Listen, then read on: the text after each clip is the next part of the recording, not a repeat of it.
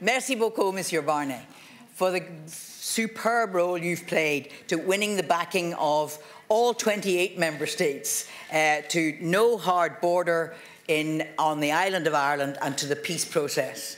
Uh, and I, you know, as we all do, that both are interlinked. I'm from Belfast, and I've been involved in politics and peacemaking for the best part of my professional life. The greatest day of that life was the referendum result on the Good Friday Agreement that we fought for. And that was the overwhelming yes in Ireland, both north and south. The worst day of my professional life was the result of the Brexit referendum. And for many throughout the UK, and particularly in Northern Ireland. Brexit is bad for Britain, but it's even worse for Northern Ireland. But I've always been an optimist. I'm well known in this place for that. And I believe there could be a light at the end of the tunnel. First, the people of Northern Ireland, as has been said here, voted to stay in the EU. And second, the citizens have the right, thanks to the Good Friday Agreement, to be Europeans and to remain Europeans no matter what happens.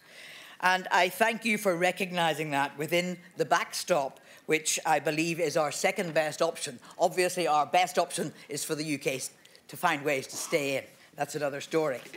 Uh, i want to say quickly that the EU has been good to Northern Ireland, and your support for the peace programme in the Delors days was exceptional, and that's the, that's the symbol of the Delors peace programme. But I want to find a little criticism, only 16 seconds left. The EU has been good to Northern Ireland, to Cornwall, to the UK in general, but you've been too quiet about it. You don't shout about that loud enough. The citizens don't know it. So I want to ask you two difficult questions and one simple one. First of all, will you consider extending Article 50 and will you get asked the backing of the other member states for that? Jane. Okay, holding European elections and finally learn the lessons of Brexit and start engaging more seriously with the citizens of the European Union. Thank you very much.